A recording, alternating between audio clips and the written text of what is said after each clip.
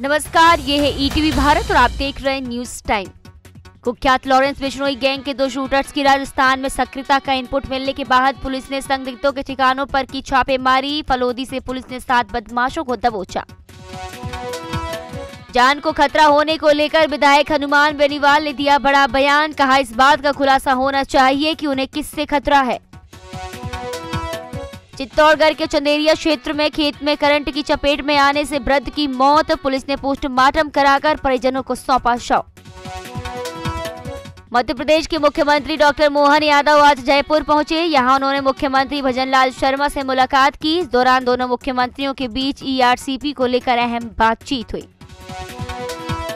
गाँव लकड़ाई में गणतंत्र दिवस पर माँ सरस्वती की तस्वीर नहीं रखने को लेकर हुआ विवाद शांत होने का नाम नहीं ले रहा है। अब इस वाक्या के खिलाफ थाने में तीन मामले दर्ज हुए हैं। उदयपुर में एक और रॉयल वेडिंग होने जा रही है। अब नेता सनी देओल की भांजी निकिता की शादी के लिए देओल परिवार आज उदयपुर पहुँचा। यहाँ सोमवार से वेडिंग फ़ंक्शन शुरू होगा। उत्तर भारत में सक्रिय पश्चिमी विमोक्ष के कारण आज राजस्थान के कई भागों में छाए रहे बादल, हालाँकि घना कोहरा और शीत की स्थिति समाप्त। श्रीगंगानगर ज़िले के साधुबाली गाँव की गाजर अपने रंग और मिठास के कारण देश भर में अपनी अलग पहचान बना रही है। इस गाँव की गाजर की डिमांड पूरे देश में है।